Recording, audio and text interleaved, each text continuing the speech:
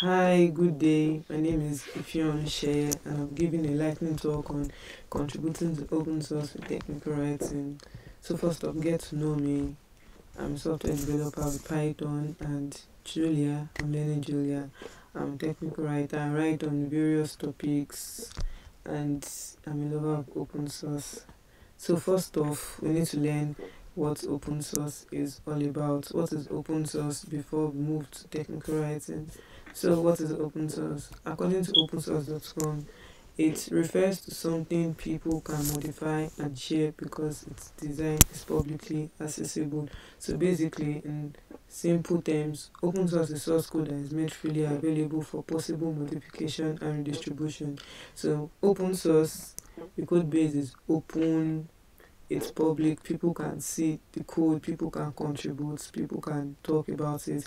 And even though it's open doesn't mean it's free. There are laws there are licenses that govern the open source ecosystem.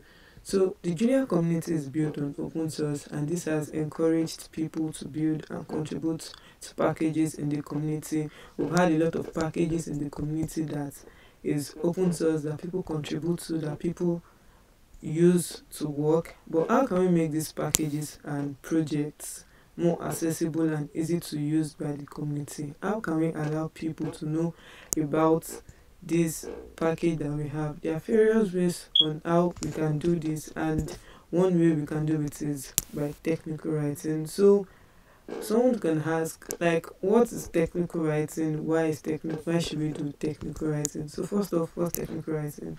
Technical writing is the creation and management of content on technology topics and technology related topics. So you writing about a technology or a technology related topic is referred to as open source. And there are various forms of technical writing. It is not limited to what is on this slide. I have various types. You have documentation you have tutorials you have research papers you have instruction manuals there are lots. So why should you be a technical writer? Why should you practice technical writing?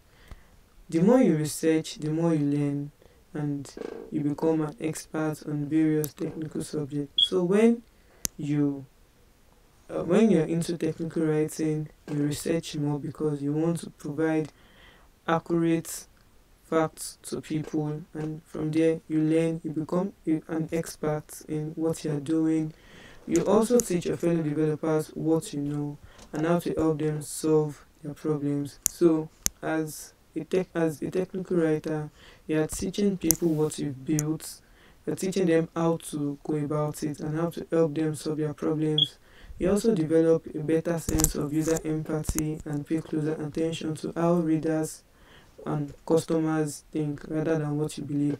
So you won't be thinking from the engineer side you also be thinking from the user side. And it's also going to help you when you're trying to like build so that you don't build from a one man perspective alone. You build with other people's perspective and it also helps for your package to be better and to be more accessible by people. And also you also increase your brand recognition and grow your network.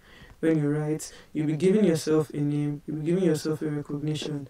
So how can one now contributes to open source with technical writing after hearing all of this. There are various ways. I just listed a few in this slide. Number one write articles. We have a lot of packages. We have a lot of projects in the julia community. You can pick one. You can write about it. You can build something with probably pluto.jl you can build something with franklin. You can do something with any of these packages and you can write on it that is one way to contribute to open source technical writing. You are promoting the julia community. Look for projects on github anywhere they are. Contribute to their readmes. So when you contribute to the readmes you are trying to update the version of documentation that was there before. You're trying to make it up to date so that people that come to that particular package or to that particular repo they can see the updated version they can it can be better for people. For packages that don't use their readmes as documentation you can contribute to the actual documentation. So you may have seen something that is not right probably a port number that is not right or has been outdated.